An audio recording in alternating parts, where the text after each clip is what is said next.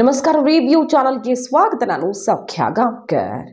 ಈಗ ಪ್ರಮಾಣ ವಚನ ಆಗಿ ಮೋದಿ ಸಂಪುಟದ ಕ್ಲಿಯರ್ ಪಿಕ್ಚರ್ ಸಿಕ್ಕಾಗಿದೆ.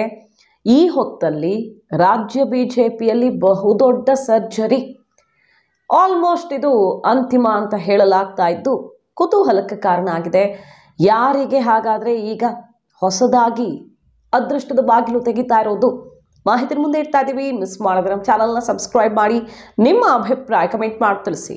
ಎಸ್ ವೀಕ್ಷಕರೇ, ಈಗ ರಾಷ್ಟ್ರ ಮಟ್ಟದಲ್ಲಿ ಬಿ ಜೆ ಪಿಯಲ್ಲಿ ಒಂದಿಷ್ಟು ಬದಲಾವಣೆಗಳಾಗ್ತವೆ ದೊಡ್ಡ ಮಟ್ಟದಲ್ಲಿ. ಪಕ್ಷದ ರಾಷ್ಟ್ರೀಯ ಅಧ್ಯಕ್ಷ ಆಗಿದ್ದ ನಡ್ಡಾ ಅವರೀಗ ಮೋದಿ ಕ್ಯಾಬಿನೆಟಲ್ಲಿದ್ದಾರೆ ಸೊ ಪದಾಧಿಕಾರಿಗಳ ಬದಲಾವಣೆ ಬಿಗ್ ಸರ್ಜರಿ ಇನ್ನೇನು ಈ ತಿಂಗಳ ಕೊನೆಗೆ ಶುರುವಾಗ್ತಾ ಇದೆ. ಈ ಸಂದರ್ಭದಲ್ಲಿ ಕರ್ನಾಟಕದಲ್ಲೂ ಒಂದು ದೊಡ್ಡ ಬದಲಾವಣೆಯ ಸುಳಿವು ಸಿಗ್ತಾ ಇದೆ. ಈಗ ಸಿ ರವಿ ಅವರು ಪರಿಷತ್ಗೆ ಇನ್ನಾಗ್ತಿದ್ದಾರಲ್ವಾ ಹಾಗಾಗಿ ಅವರು ಪರಿಷತ್ ವಿಪಕ್ಷ ನಾಯಕ ಆಗೋದು ಕೂಡ ಖಚಿತ ಅಂತಲೇ ಹೇಳಲಾಗ್ತಿರೋದು. ಸುಮ್ಮ ಸುಮ್ಮನೆ ಅವರನ್ನು ಎಂ ಎಲ್ ಸಿ ಮಾಡಿ ಕೂರಿಸಲ್ಲ. ಅವರನ್ನು ಪರಿಷತ್ ವಿಪಕ್ಷ ನಾಯಕ ಮಾಡೋದು ಗ್ಯಾರಂಟಿ. ವಾಕ್ ಚಾತುರ್ಯ ಇದೆ. ಹಾಗೆ ಅಧ್ಯಕ್ಷ ಸ್ಥಾನದ ಆಕಾಂಕ್ಷಿ ಆಗಿದ್ರು ಲೋಕಸಭಾ ಟಿಕೆಟೂ ಸಿಗಲಿಲ್ಲ.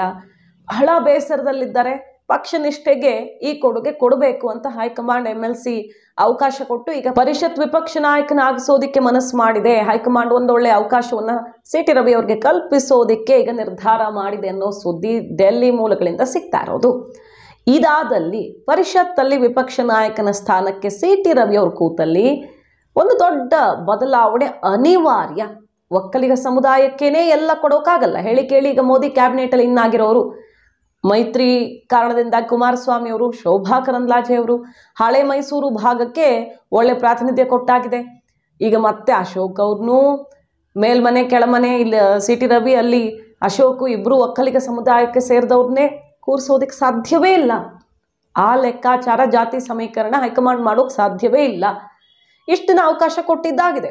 ಅವ್ರ ಬಗ್ಗೆ ಒಂದಿಷ್ಟು ಒಳಗಡೆ ಅಪಸ್ವರನೂ ಇರಬಹುದು.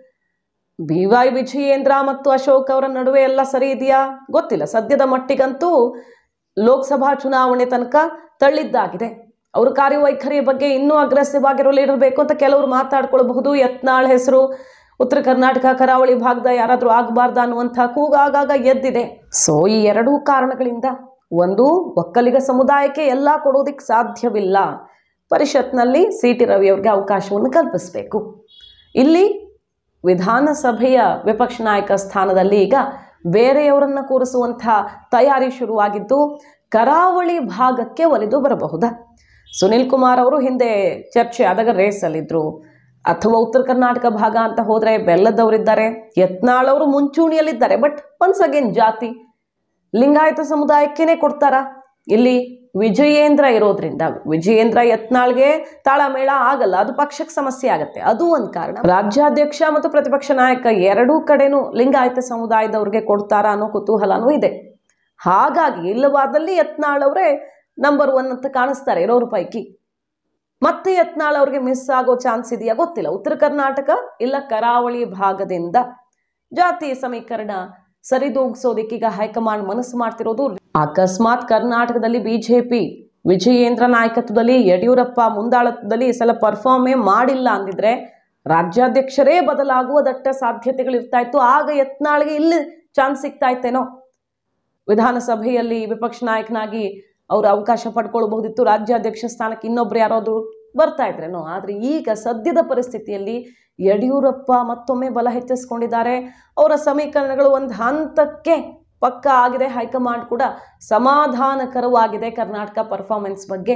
ಈ ಇಕ್ಕಟ್ಟಿನ ಪರಿಸ್ಥಿತಿಯಲ್ಲಿ ದೇಶವ್ಯಾಪಿ ಸಂಕಷ್ಟ ಎದುರಾಗಿರುವಾಗ ಕರ್ನಾಟಕ ಸಮಾಧಾನಕರ ಪರ್ಫಾರ್ಮೆನ್ಸೇ ಹಾಗಾಗಿ ವಿಜಯೇಂದ್ರ ತಲೆದಂಡ ಆಗೋ ಲಕ್ಷಣ ಕಂಡು ಬರ್ತಿಲ್ಲ. ಇದು ಯತ್ನಾಳ್ ಅವ್ರಿಗೆ ಅಡೆತಡೆ ಆಗಬಹುದೇನೋ ರಿವ್ಯೂ ಈ ಬಗ್ಗೆ ಎಕ್ಸ್ಕ್ಲೂಸಿವ್ ಆಗಿ ಬಹಳ ಹಿಂದೆನೇ ವರದಿ ಮಾಡಿತ್ತು. ಕರ್ನಾಟಕ ಬಿಜೆಪಿಯಲ್ಲಿ ರಿಸಲ್ಟ್ ಬೆನ್ನಲ್ಲೇ ಏನೇನು ಬದಲಾವಣೆಗಳಾಗಬಹುದು ಸಿ ಟಿ ರವಿಗೆ ಪರಿಷತ್ ಅವಕಾಶ ಬೇರೆ ಸಿಗ್ತಿರೋ ಹೊತ್ತಲ್ಲಿ ಅಂತ. ಅದೇ ರೀತಿಯಲ್ಲಿ ಈಗ ಉನ್ನತ ಮೂಲಗಳ ಮಾಹಿತಿ ಲಭ್ಯವಾಗ್ತಿರೋದು. ಇನ್ನೇನು ಈ ತಿಂಗಳ ಕೊನೆಗೆ ರಾಷ್ಟ್ರಮಟ್ಟದಲ್ಲಿ ಬದಲಾವಣೆಗಳಾಗಲಿಕ್ಕಿದೆ. ಪದಾಧಿಕಾರಿಗಳ ಬದಲಾವಣೆ ಆಗೋದಕ್ಕಿದೆ. ಆ ಟೈಮಲ್ಲಿ ಅಶೋಕ್ ಅವ್ರಿಗೆ ರಾಷ್ಟ್ರಮಟ್ಟದ ಸಂಘಟನಾತ್ಮಕ ಜವಾಬ್ದಾರಿಯನ್ನು ಕೊಡೋದಕ್ಕೆ ಈಗ ಲೆಕ್ಕಾಚಾರ ಹಾಕಿದ್ದಾರೆ ನಾಯಕರು ಅನ್ನೋ ಮಾತು ಕೇಳಿ ಬರ್ತಿದೆ. ಅವರನ್ನು ಕೈ ಬಿಟ್ಟು ಬಿಡೋದಕ್ಕಾಗಲ್ಲ ಅರ್ಧ ನೀರಲ್ಲಿ. ಹಾಗಾಗಿ ನಿರಂತರವಾಗಿ ಗೆದ್ಕೊಂಡು ಬಂದಿರುವ ಅನುಭವಿ ಹಿರಿಯ ನಾಯಕ ಆಗಿರೋ ಆರ್ ಅಶೋಕ್ ಅವ್ರಿಗೆ ಗೌರವಯುತವಾಗಿ ನಡೆಸ್ಕೊಳ್ಬೇಕಂದ್ರೆ ಅವ್ರಿಗೂ ಒಂದು ಸಂಘಟನಾತ್ಮಕ ಜವಾಬ್ದಾರಿ ಆದರೂ ಕೊಡಬೇಕು. ಪ್ರಧಾನ ಕಾರ್ಯದರ್ಶಿಯೋ ಅಥವಾ ಇನ್ನೇನು ಯಾವ ರೀತಿಯಲ್ಲಿ ಅವಕಾಶ ಅಂತ ನೋಡಬೇಕು. ಒಟ್ಟಿನಲ್ಲಿ ಸದ್ಯದಲ್ಲಿಯೇ ಈ ನಿರ್ಧಾರ ಪ್ರಕಟ ಆಗತ್ತೆ ಅನ್ನುವಂಥ ಸುದ್ದಿ ಸದ್ದು ಮಾಡ್ತಿದೆ. ಕಾದ್ ನೋಡಬೇಕು. ಮಾಹಿತಿ ನಿಮ್ಗೆ ಇಷ್ಟ ಆಗಿದ್ರೆ ಮಿಸ್ ಮಾಡಿದ್ರೆ ನಮ್ಮ ಚಾನಲ್ನ ಸಬ್ಸ್ಕ್ರೈಬ್ ಮಾಡಿ, ನಿಮ್ಮ ಅಭಿಪ್ರಾಯ ಕಮೆಂಟ್ ಮಾಡಿ ತಿಳಿಸಿ. Thank you